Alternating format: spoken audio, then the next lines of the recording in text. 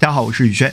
古代的时候，人生的三大喜事呢是他乡遇故知、洞房花烛夜、金榜题名时。在现代，我觉得还得加上一个拆迁分房子，特别是在大城市，要是遇上这样的美事，基本上就可以躺着数钱了。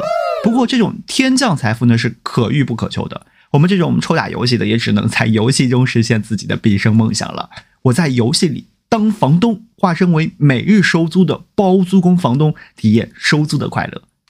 房东模拟器呢是一款模拟经营的游戏，玩家可以在游戏中继承家业，成为房二代，开始你的趣味收租人生。游戏的玩法很简单，你只需要简单的装修房子，包括增加床、书桌、马桶、厨房等基础设施，就可以对外出租了。你也可以进行精装修，花钱把所有的设施升级成为最好的，租金也会相应的提高。当然也不能搞得太豪华了。当房间完成度大于百分之三十五时呢，无业游民会因为无力承担房租自动退房。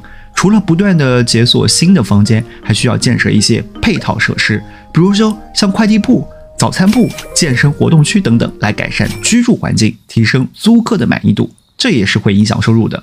在招募房客的时候呢，职业均衡也是很重要的。如果你某种职业人数过多，可能会导致需求无法被满足，被差评，从而降低收入。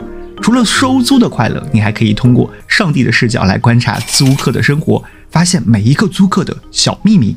每位租客呢都有可能发生一些随机的事件，需要你的帮忙。通过简单的对话呢，就可以可以帮助他们做出决策，还能收获他们的爱心小礼物。